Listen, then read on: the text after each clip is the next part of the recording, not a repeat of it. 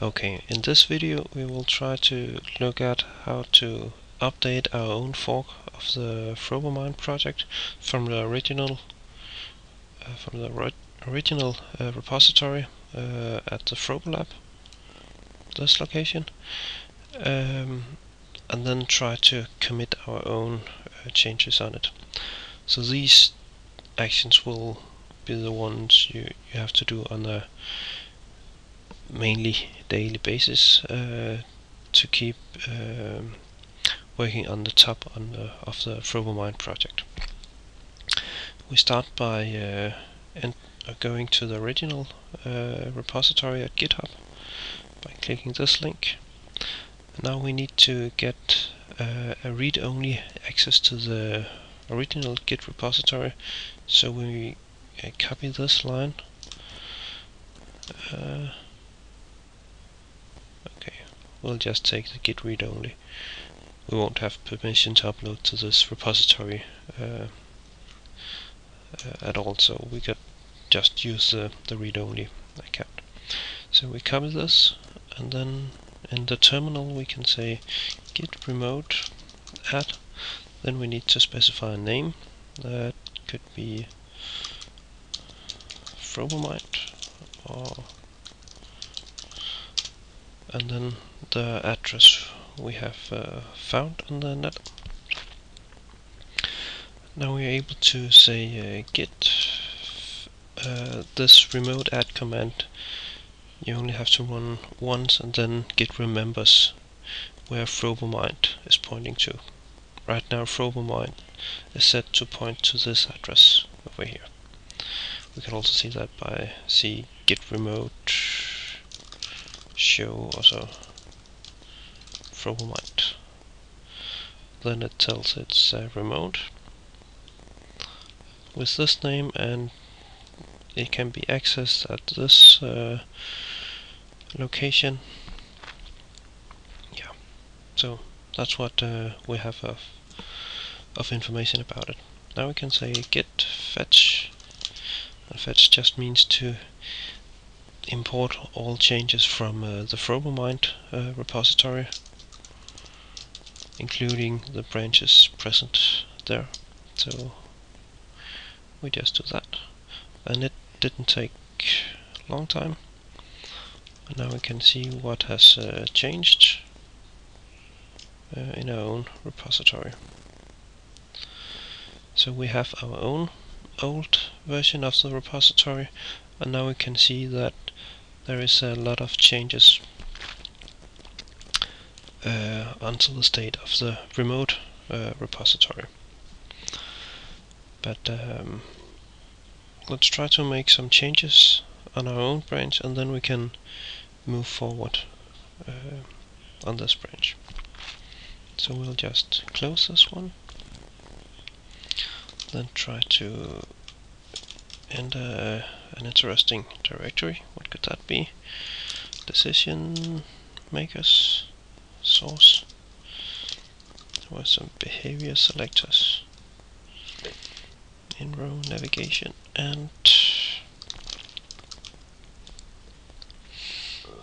let's see if we can find anything in uh, this file we can clean up or, or do something interesting with. Well, indentation seems good. There might be something to improve here.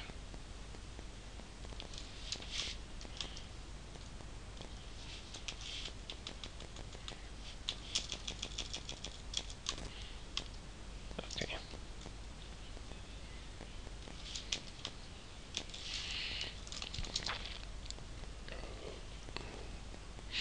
Okay, this is one of the this is uh, a nice change. Then we just close the editor. And we'll like to commit the change. It just throws a warning. Uh, it's not important. In Git GUI the command I used for for this program I just uh, select stage chunk for commit. And then uh, I write a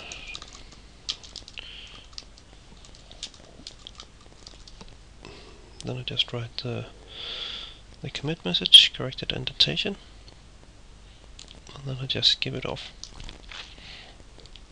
Now I can see how uh, gitk looks, and uh, now we can see that the original Frobomind repository, this one up here, is on one branch and we have made some changes on another. We would like to take these changes and put on top of this branch. This can be done with a, a git command known as git rebase and we want to take these changes, the corrected indentation and put on top of Frobomind master. And we do this using the following command git rebase frobo mind and then slash uh, master. And then it uh, tries to place the changes on the right location in the tree. We can try to see here. And now we have a, a nice history. And uh, we can continue our work up here but we can also try to push our changes that is this commit onto our own uh, public branch here on our origin remote and then we can send a, a push request to the or rather a pull, requ pull request to the maintainer of the Frobomind project. We'll just close this one. So git push origin or master. We tell that we want to push the master branch to the origin repository, which is the one resides on GitHub. And now that should be committed. And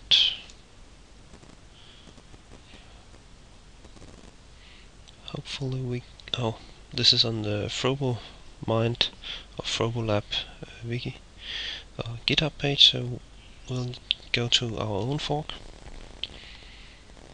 and here it is. And we can see that there is a, a corrected indentation, indentation commit committed two minutes ago.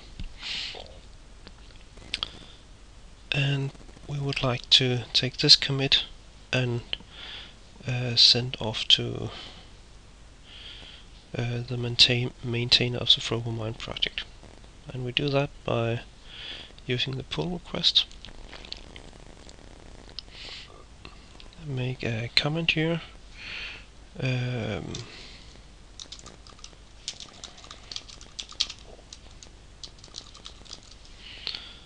and then we can see on which commits are uh, included here and what files are, are changed.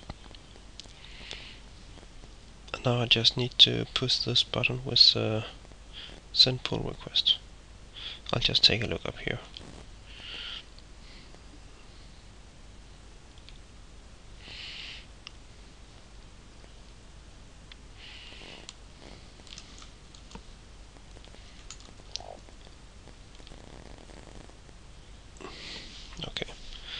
Now it's a specific commit, not just a branch I'll uh, commit. Then I have write, written my header here, and then I can just send the pull request, and hopefully um, the maintainer of Frobomind will accept it. Um, if not, he has the possibility of writing some comments to the pull request and you can also commented on it. So this is how to share back information with the Frobomind project.